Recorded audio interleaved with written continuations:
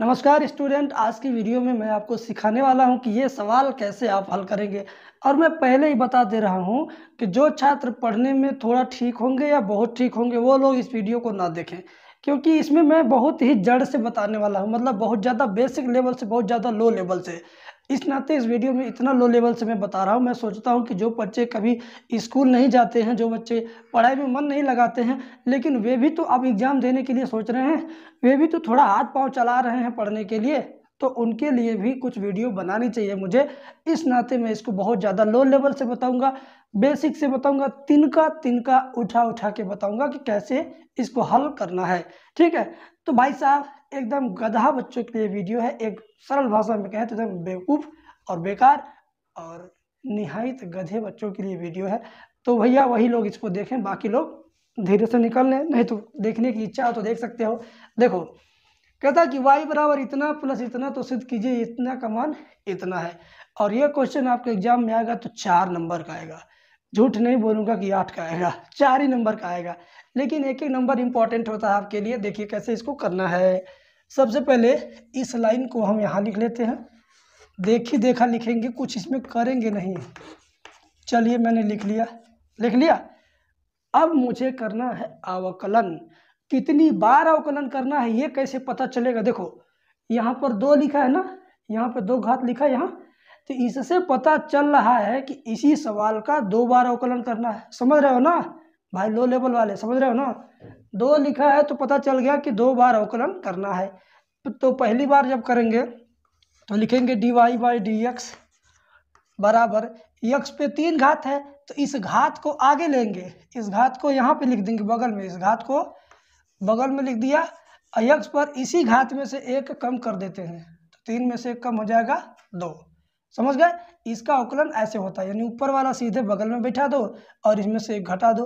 Plus ten x का अवकलन का सूत्र क्या होता है? मैं सूत्र लिख दे रहा हूँ बगल में।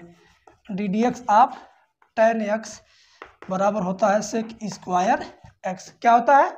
सेक स्क्वायर एक्स कोरोना में लिख दिया, दिख नहीं रहा थोड़ा थोड़ा लेकिन समझ लेना, इसका सूत्र होता है सेक स्क्वायर एक्स एक बार तो अवकलन हो हो गया एक बार। अब हमें तो करना है कितनी बार? दो बार। तो अब दो बार करने के लिए फिर से इसी लाइन का हम अवकलन करेंगे। तो इसका हो जाएगा d two y upon d x square बराबर। फिर वो इसी तरह से, समझो ये तीन है ही नहीं। जैसे इस पर ना तीन को यहाँ लाए थे, ऐसे ही दो को यहाँ लाओगे। तो यहाँ लाओगे तो इसके नीचे पहले से तीन है। तो दो आएगा जब तीन के बगल में तो दो और तीन का गुड़ा हो जाएगा। तो दो तीन छः हो गया और एक्स पे घाते कितना? दो में से एक घटाओगे तो एक बचेगा। एक घात यहाँ लिखना अच्छा नहीं लगता है तो नहीं लिखेंगे। ठीक है? प्लस सेक स्क्वायर एक्स का अवकलन कैसे होगा? यहाँ भी दो घात है तो दो घात को खींच लो आगे तो जाएगा टू और फिर सेक एक्स इंटू घात को छोड़ दो, यानी दो को छोड़ दो, अब केवल सेक का अवकलन करो सेक का। तो सेक का सूत्र क्या होता है? सेक एक्स का अवकलन सूत्र होता है sec x into tan x समझ गए बाबू? Sec x into tan x एकदम लो लेवल से समझा रहा हूँ।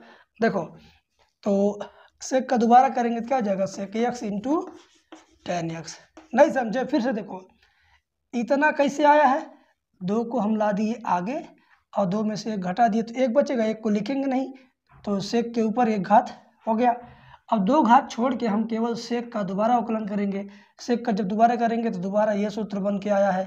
ठीक है? अब क्या होगा अगली लाइन में? अगली लाइन में कुछ नहीं होगा, बस मज़ा आएगा, मज़ा। क्या? देखो छः एक जैसे था वैसे लिख दिया मैंने। दो ऐसे लिख दिया। सेक गुड़े सेक, हो गया sec square x into tan x. ठीक है? तो देखिए, जो लाना था मुझे, वही तो आ गया। समझ गया बच्चा? तो अब मैं आपको एक चीज़ और बताता हूँ। अगर आप हर एक विषय का मॉडल पेपर फ्री में डाउनलोड करना चाहते हो या फ्री में पढ़ना चाहते हो हमेशा के लिए तो आप गूगल में सर्च करना PDF Mandi PDF Mandi dot com Google में सर्च करोगे, पहली वेबसाइट जो आएगी, उसी पर सब कुछ आपको मिल जाएगा, वो भी फ्री है। तो देर मत करना, अभी जाके देख लेना, ठीक है? Thank you